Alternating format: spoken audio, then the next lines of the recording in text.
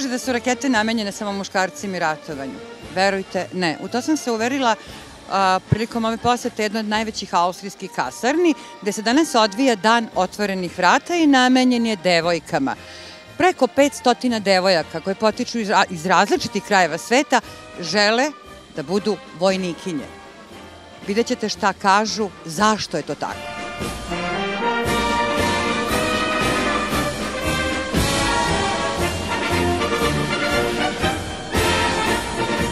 Kako se zoveš? Marijana Stevanović. A koliko imaš godina? 17. U koju školu ideš? Handelsschule u deseti. A zašto si danas došla u kasarnu? Pa hoću da, zas, da saznam šta se tu radi, šta ima u vojsci, tako da, kako ima posao. A zašto te zanima posao u vojsci? Pa znam da je ovde siguran posao i ne znam, zanima me. Zbog moje drugarice. ja sam tela da vidim kako je to i kako izgleda i da. Jer, jer ima dobra plata i siguran posao i mogu da budem svuda u, na, na svetu. Ja isto kao moja drugarica hoću da pravim jako komando. Ja isto hoću da pogledam kad jedan nešto glupačo pravi ili tako nešto. Da vidim da je sve u redu. I sa pištolja isto volim da igram. Šta to? Pa vala bi se da isprobam, ono, zanima me sve ovo. Also dieser Girls Day heute soll dazu dienen, einmal eine Berufsrandgruppe auch präsentieren zu können. Und wir, das Bundesheer, präsentiert hier eben den Beruf der Soldatin, um eben den Interessierten, die unserer Einladung gefolgt sind, auch konkret zu präsentieren, was kann ich machen, beziehungsweise wie wäre der Weg hin zur Soldatin. Gibt es was Besonderes, interessant für die Mädchen beim Bundesheer? Prinzipiell schon, weil Bundesheer die Kameradschaft der über die Grenzen aus bekannt ist und auch Kameradschaft geliefert wird.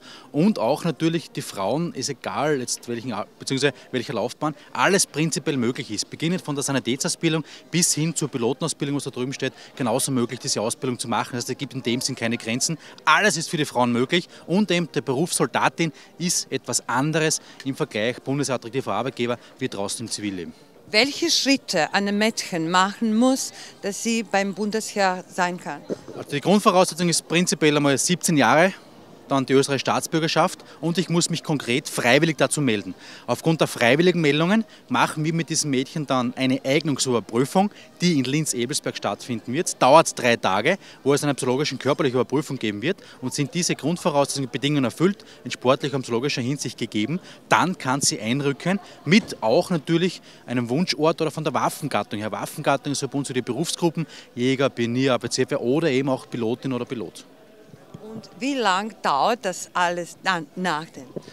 Schwer zum sagen. Die Offiziersausbildung ist konkret vorgegeben, die dauert vier Jahre. Ein Jahr jetzt vereinfacht gesagt ein Auswahlverfahren und dann drei Jahre der Militärkademie der Neustadt. Die Unteroffiziersausbildung ist ähm, dementsprechend circa drei Jahre. Und es gibt natürlich eben aufgrund der Möglichkeiten, vielen Möglichkeiten, die wir haben, auch Kurzlaufbahnen. Das sind diese Milizausbildungen, wo ich maximal zwölf Monate aktiv beim Bundesheer bin, danach eine zivile Karriere starte, aber weiterhin Verpflichtungen mit dem Bundesheer habe. Und es ist eine Möglichkeit, dass die österreichische Bundesheer noch schöner wird. Mit so vielen Mädchen. Das ist schön. Das Bundesheer ist generell schön. Natürlich würden wir uns wünschen, und auch der Minister, es ist ja generell eine Vorgabe auch, dass natürlich auch der Frauenteil im Bundes erhöht wird. Und deswegen versuchen wir auch hier in dem Sinn den Girls zu nutzen, um zu werben. Aber es geht ja nicht um Schönheit der Frauen, sondern es geht dahingehend, dass sie auch diese Leistungen, die abgefordert werden, beziehungsweise auch ihren, unter Anführungszeichen nicht falsch wissen, ihren Mann stellt und auch in Dienst im Bundesheer versieht. Došao sam s čerkom da se prijavi, ima interese, a voli vojsku i pošto ja imam četiri čerke i jednog sina, pa ona je ovako ovaj, izdvojila se od sve djece i neki je, znaš, poseban tip kao da je muško, a nije. I onda smo odlučili da ona dođe ovde, pošto to voli, pa da izabere šta joj se sviđa. A da li, da li vi podržavate u tome? Da, da, podržavam jer sam ja služio vojsku i to je jedan najljepši dio i period kad si u vojski. Jest da je svaki početak težak, ali to se brzo zaboravi i na rastanku se i plače. Ja sam kao plako u Titunoj vojski kad sam se rastavljao od mojih drugova.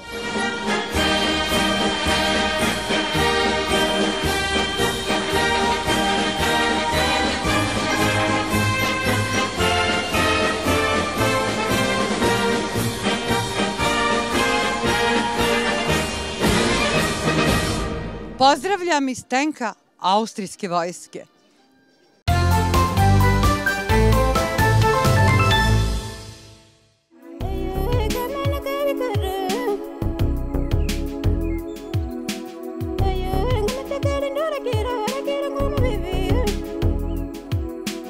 Ova grandiozna zgrada je 7.500 kvadratnih metara velika. Ali ovo nije dvorac. Ovo je Prirodnjački muzej u Beču.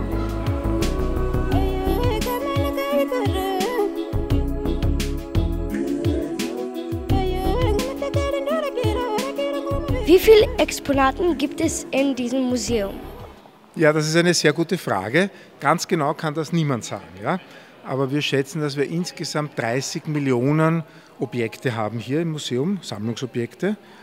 Äh, da wird aber nur weniger als ein Prozent, ich habe einmal gehört, ungefähr 300.000 Stück ausgestellt. Also in diesen 39 großen Schausälen, die wir haben, ist weniger als ein Prozent von diesen 30 Millionen. Jetzt ist die Frage, wo sind die anderen? Also die anderen Objekte, die sind entweder hinter den Kulissen, in Räumen, die hinter den Schausälen sind, in irgendwelchen Stellagen, Schachteln oder sonst was gesammelt, oder in einem viergeschossigen Tiefspeicher. Also wir haben unter dem Museum noch vier Geschosse Keller, wo sehr, sehr viele Exponate sind. Die werden auch ab und zu gebraucht, aber sonst werden sie dort gelagert.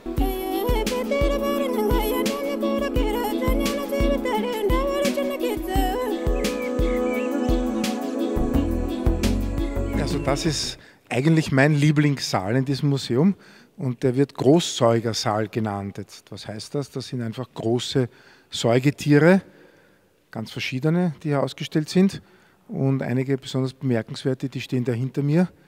Ich habe jetzt sicher schon bemerkt haben, dass das ein Elefant ist. Nicht?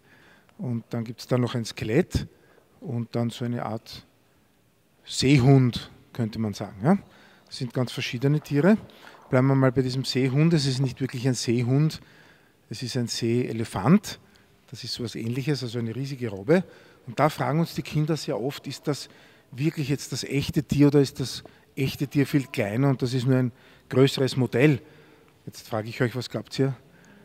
Ist das ein echtes oder das ist echt, ja. Also es ist ein echtes, ausgestopftes, ein präpariertes Tier, das wirklich, als es gelebt hat, so groß war. Dieses Präparat ist schon mehr als 100 Jahre alt. Ja, was interessieren euch noch für Tiere da drinnen? Gibt es noch einige andere? Habt ihr noch? Dieser Wal, der fasziniert euch auch. Ja, das ist das Skelett eines Bartenwals, also wieder bei der alten Frage zu bleiben. Ja, das ist wieder das echte Skelett. Und dieses Tier war gar nicht so besonders groß, denn hinten auf der Wand ist ein Blauwal aufgezeichnet oder nur der vordere Körperabschnitt eines Blauwals. Das ist das größte Säugetier der Welt. Der wird bis zu 30 Metern lang. Ja? Und ihr seid ja da drüben reingekommen, durch diese Tür. Und das ist jetzt so ein komischer Torbogen, so was Weißes, wo man unten durchgehen kann. Was ist das, glaubt ihr? Warum ist das da? Das ist ja nicht die normale Museumstüre. Ah, es hat mit dem Kopf was zu tun, aber für Zähne wäre es ein bisschen zu groß. Nein, es sind keine Hörner, es, es kommt vom Wal. Es kommt von einem Wal, also wenn ihr euch diesen Wal da anschaut, dann schaut ihr darüber, dann könnt ihr sehen, genau, das ist der Unterkiefer. Ja, also das ist der, das da, ja, das habt ihr auch. Ja.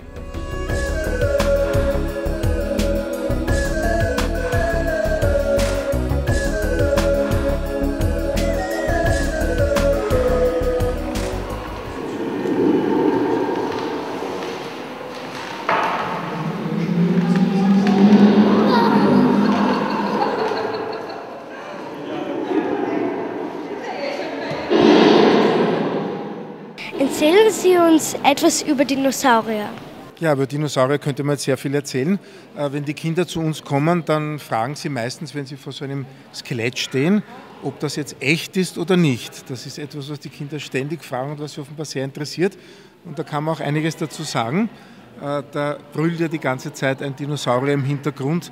Das ist ein Modell, das besteht aus Kunststoff und das wird mit Pressluft betrieben, von einem Computer gesteuert und schaut ganz echt aus, als ob dieser Dinosaurier jetzt wirklich leben würde. Aber natürlich lebt er nicht, sondern das ist ein Modell eines räuberischen Dinosauriers, der früher mal sicher gefährlich war für seine Beutetiere. Und dann da in der Mitte stehen andere große Dinosaurier-Skelette. Das sind alles Kopien, also Abgüsse, das sind keine echten Skelette denn in Österreich gibt es kaum Funde von Dinosauriern. In anderen Ländern, zum Beispiel Nordamerika, hat man viel mehr Dinosaurier gefunden und da gibt es auch im Museum mehr echte Dinosaurier-Skelette. Gledajte kako je velika ova kornjača. Ist das das Original oder das Kopie? Also diese Riesenschildkröte ist das Original und da gibt es eine sehr spannende Geschichte dazu, die stammt aus Nordamerika. Und die wurde in den 70er Jahren, also vor mehr als 30 Jahren, gekauft vom Naturhistorischen Museum. Und zwar nicht als Schildkröte, so wie sie hier steht, sondern als riesiger Steinblock. Ja, man wusste, da ist irgendwas Spannendes drinnen, aber man wusste nicht genau, was ist da eigentlich drinnen. Und so konnte das Naturhistorische Museum relativ billig, sage ich einmal, also billiger als wenn sie schon präpariert geworden wäre, diese Schildkröte kaufen. Und dann wurden viele tausend Stunden Arbeit investiert von Präparatoren hier in Wien die dann aus diesem Steinblock dieses Skelett der bisher größten Schildkröte der Welt herauspräpariert haben.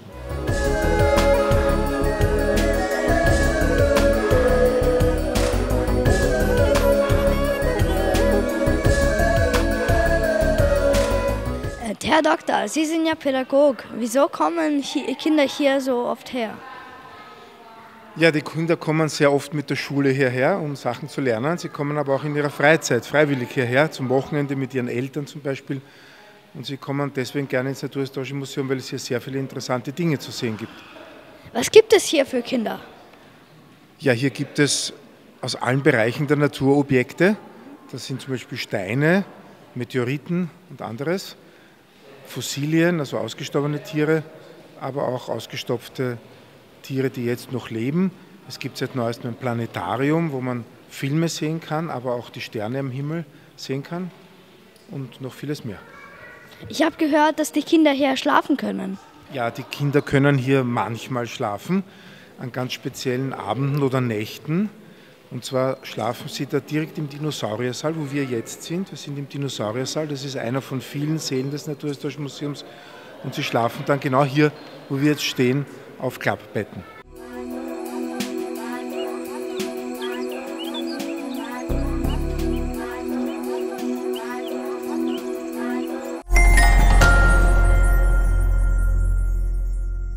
Zablistajte lepotom i elegancijom u svim posebno važnim trenucima.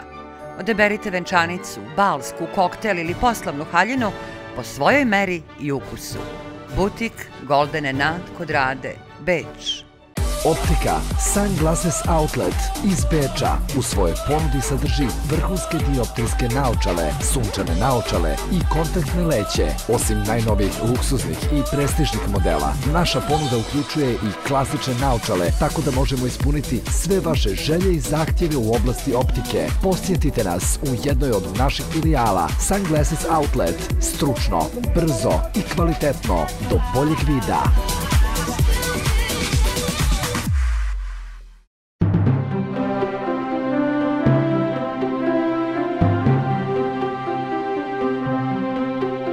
Najmodernije sisteme oblačimo u vrhunsku udobnost.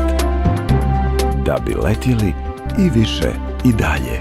Montenegro Airlines. Za vas. Za zdrave zube i lep osmeh dođite u srce Beča. U ordinaciji doktorke Vere Mašić-Čabak svi vaši stomatološki problemi rešavaju se u samo jednom terminu. Vrhunska stručnost, najsavremeniji aparati, najbolji materijali, luksuzni smeštaj. Pozovite telefonom ili se javite putem maila. Kosmo, austrijski magazin za nas i o nama. U novom broju čitajte. Naslovna priča, Eurovizija, vremeplov najvećeg evropskog muzičkog spektakla. Politika, radikalizma ima i na Balkanu, tvrdi austrijska ministarka unutrašnjih poslova.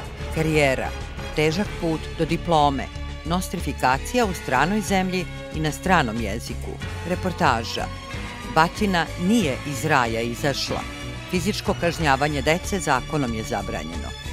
Znanje. Samo slava Srbina spašava. Naš narod slavi čak 78 krstnih slava. Sport. Futbal me spasio, kaže igrač Rapidovog tima za momke sa posebnim potrebama. Budite informisani. Čitajte Kosmo.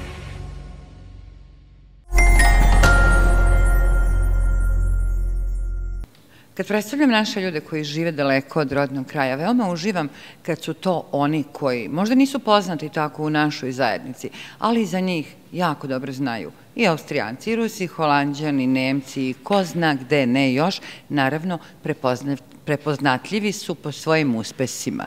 Jedan od takvih je Bogomir Doringer, umetnik. Bogomire, odakle to ime i prezime? Aha, ta kombinacija imena sa po, pogrebnih ploča, obično, pošto Bogomir je zaista staro ime. Ime sam dobio u stvari po svom um, dedi, u stvari dedinom bratu, koji se zvao Bogomir Doringer, koji je bio najstariji sin iz tog mešovitog braka između Austrijanca i moje prababe i koji je tokom drugog svetskog rata u stvari morao da prebegne za Australiju, jer je njihov brak po početku drugog svetskog rak, um, rata bio problematičan. A Doringer u stvari kao da neko zvoni na vrata, Doringer, da, što u stvari izvuči kao ja. Ja stalno neka vrata pokušavam da otvorim, srušim i tako dalje. Da. A, ti dolaziš iz Beograda. Da, ja sam rođen u Beogradu. Rođen si u Beogradu i u Beogradu si imao jednu zavidnu karijeru kao modni dizajner. Zašto si pobegao iz te branže u neki drugi svet, u svet drugačije umetnosti? Pa ja sam prvo pobegao od narkomanije da se bavim modom, zato što u vreme kada sam ja odrastao, većina mojih prijatelja je završila sa problemom narkomanije, zbog, jel, to je period 90. kad su stvari bile baš ne tako idealne za omladinu i uopšte moju generaciju.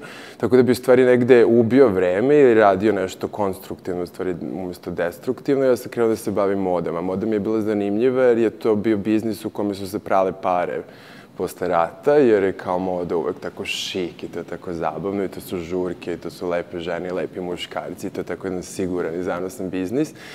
Te sam ja u stvari vidio mogućnost da u stvari postavim neku društvenu kritiku unutar tih modnih krugova, jer sam verovao da kritika u galerijima i muzejima nema baš neku funkciju, jer ti ljudi koje ja kritikujem nikad tu kritiku neće videti.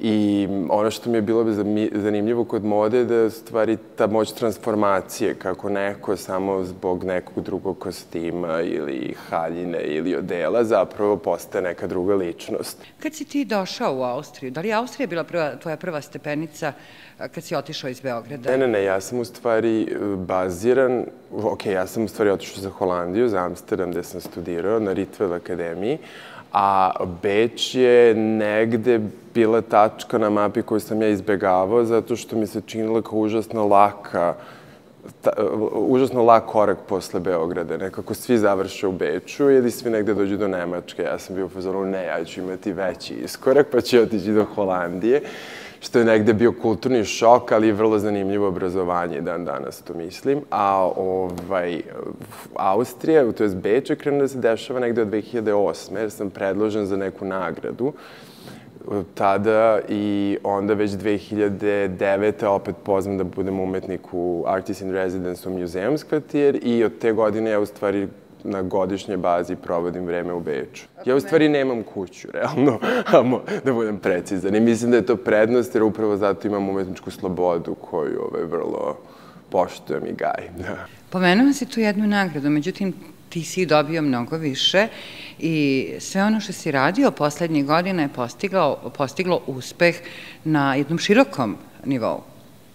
Pa da, u stvari, sve što...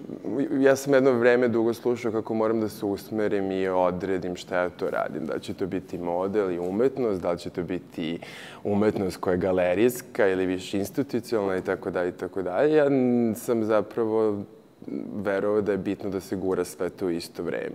I trebalo je dugo godina, trebalo je nekih 15 godina da se sve to nekako sklopi i Faceless izložba, recimo, je izložba koja je zaista dobar primer umetnosti, mode i društveno angažovane teme gde ja u stvari tvrdim da nakon 9-11 terorističkih napada na Twin Towers, na kule bliznakinje, postoji jedna posledica po društvo širom sveta, to je da mi krećemo da skrivamo lice. E sad, ono što ja u stvari želim time da kažem je da slike terorista pod maskama i burke, koja je bila vrlo važna tema i još uvek jeste, su negde kroz umetnički, kroz creative arts, kroz kreativni sloj, su postale tema, motivacije, inspiracije, a onda su se polako integrisale u našu svakodnevnicu. Tako da mi danas živimo u društvu gde ispred Facebooka, ispred kamere za obezbeđenje postačemo da krijemo lice, gde mode nam sve više nudi opcija kako to lice da se sakrije, da li je to kapuljača, da li je to maska, da li je to,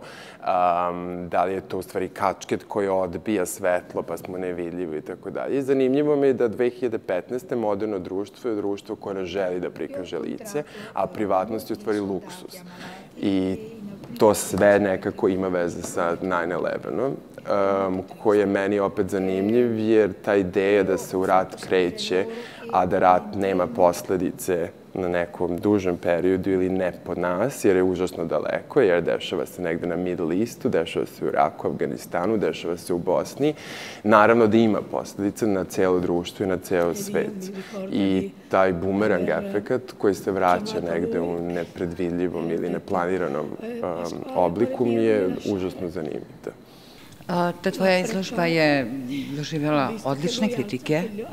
A, čini mi se da je postavljena u više svetskih gradova, ispravim ako grešim. Jeste, jeste. Do sada Beč iz dva dela, znači cijela 2013. Amsterdam, Brisel i trenutno postoje mogućnost za Pariz i New York, ali to mora mnogo drugačije da se pripremi, pošto je tema sama po sebi vrlo osetljiva. Zapravo ne postoje nijedna izložba koja se bavi 9-11-om, um, septembrom 11. u Americi kao ozbiljnim, uh, ozbiljnom prekretnicom društvenog i političkog života. Da.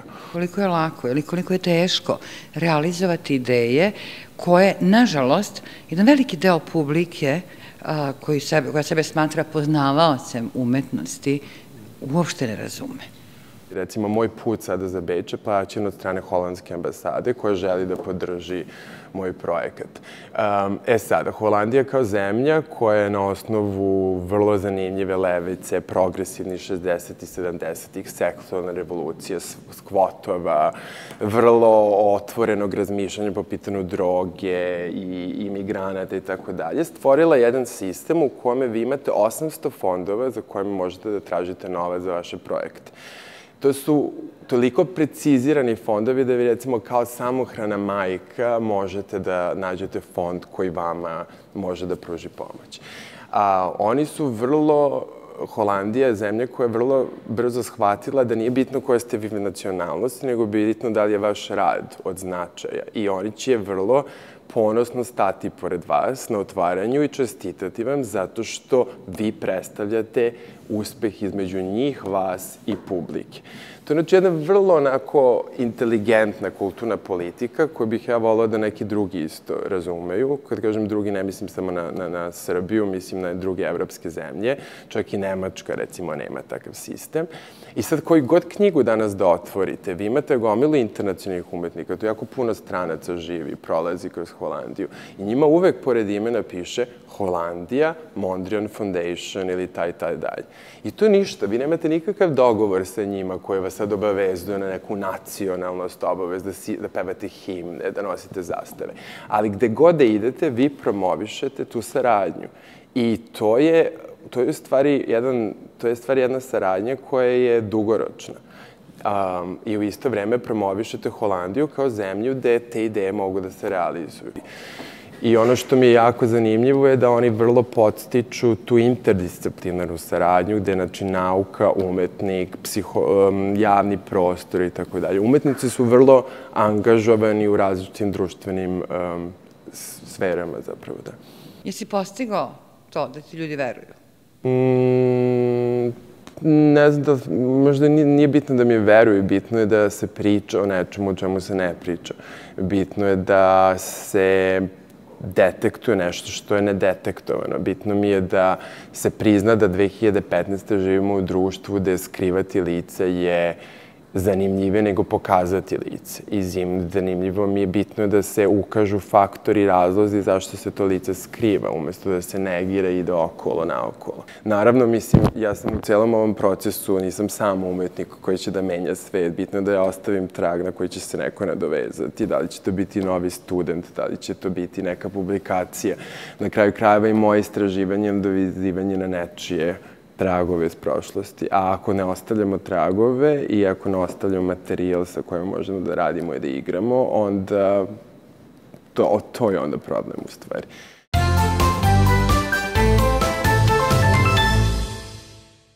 Die ganze Welt ist mein, schau mich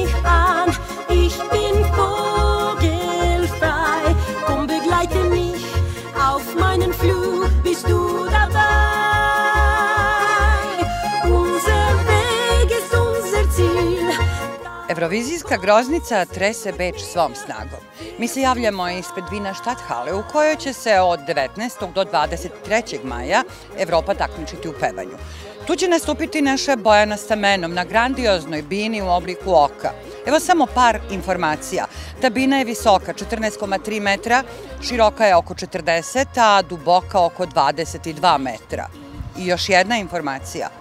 Samo u ton i rasvetu ugrađuje se oko 80 tona različite opreme. Pesma je snimljena na pet jezika. Prvi je naš jedan i jedini srpski jezik.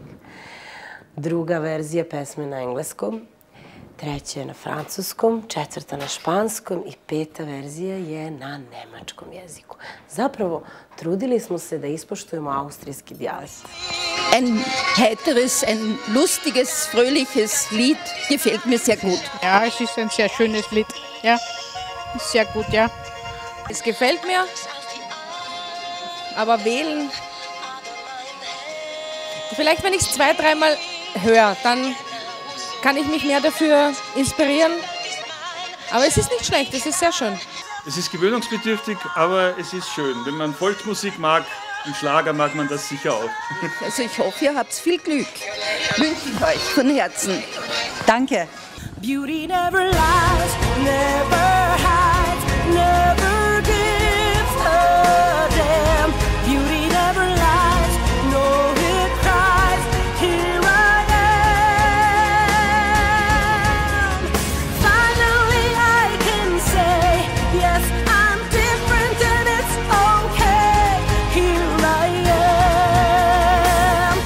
Hajde da vidimo kako će naši ljudi glasati na Eurosongu. Glasat ću za Srbiju, za Bojanu, pjesma je odlična. Najbolje smo glasom za Srbiju. Naravno za Srbiju. Navijeći glasat ću za Srbiju. Glasat ću za Srbiju na Euroviziju. I mislim da će dobiti jedno dobro mesto. Hoćeš li glasati? Naravno. Jednom ili više puta? Više puta, koliko je moguće. I tvoji prijatelji, nadam se? Naravno, svi, cijela porodica. Beauty never lies, never hides, never gives a damn. Svi smo mi negde meka srca, ipak smo mi taj neki narod koji, koji je srčan i koji je vrlo onako, svakoga primamo inače otvorenih ruku. Tako da će možda i ova pesma, ja se zaista nadam, naići na te otvorene ruke. I šta reći na kraju? Nego navijajmo, dajmo podršku Bojani, dajmo podršku Srbiji. Naša je i Bojana, a naša je i Srbija.